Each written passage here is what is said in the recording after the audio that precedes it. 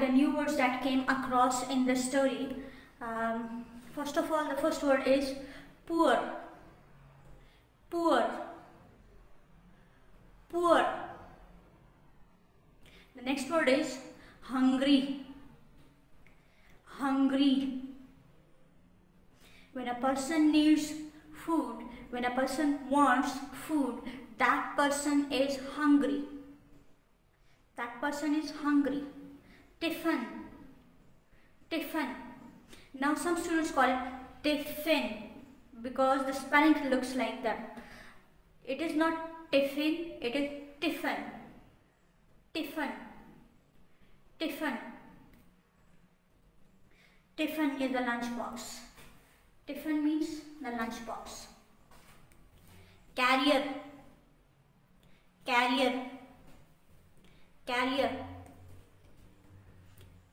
Carrier. Carry means to take something from one place to another place and carrier is the thing which helps you taking thing from one place to another place. Carrier. Tiffin carrier. Carrier. Empty. Empty. Empty. Empty is something which has which is completely um, which has nothing inside it which has nothing inside it empty. Restaurant. Now many students and many people call it restaurant. It is not restaurant. It is not restaurant. It is restaurant. What is it? Restaurant. Restaurant. Restaurant through through through through has someone somehow the same meaning as uh, in is giving you. Through through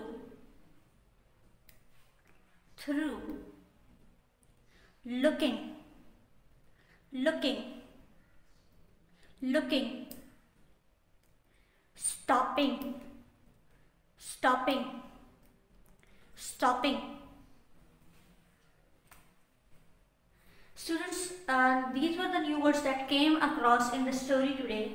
These were the new words that came across in the story today. You can see that I have drawn a two arrow-headed finishing line. Two arrow-headed finishing line at the end of these words. When you complete your homework, you will also draw this finishing line. This finishing line. And you will notice that your homework would look better. And uh, when you complete your homework, send that homework to me on WhatsApp number. I'll be very happy to see your handwriting and I will make comparison and we will see that whose homework is better than the other one. So it would be a kind of competition be between all of you, among all of you. So um, let me know that how do you do your homework and uh, for parents I request you all that uh, invigilate your children अपने बच्चों की निगरानी करें अपनी निगरानी में ये सारा काम करवाएं ताकि उनसे कोई गलती ना हो या वो अपना टाइम वेस्ट ना करें आपकी मौजूदगी में वो काम को सही तरीके से कर पाएँगे। जितनी आ, आप इनके साथ मेहनत करेंगे जितना आप हमारे साथ ताउन करेंगे उतना ही ये बच्चे सीखेंगे। क्योंकि मौजूदा सूरत हाल की वजह से हम इनको स्कूल नहीं बुला सकते। तो अब आधी रिस्पॉन्सिबिलिटी चूँकि आप पर है तो हम आपसे आपके ताउन के उम्मीदवार हैं। हम उम्मीद रखते हैं कि आप ताउन करेंगे अपनी निगरानी में बच्चों से ये सारा काम करवाएँगे और किसी किस्म की भी कंफ्यूजन हो किसी किस्म का कोई भी सवाल हो तो आप हमसे रब्ता कर सकते हैं। आपको हर किस्म के सवाल का जवाब मुहैया किया जाएगा। It's the time that I give you some homework.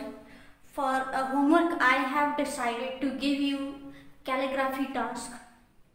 Calligraphy means neat handwriting.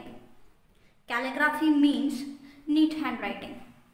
You have to write all these new words in your neat copy but in a very neat manner.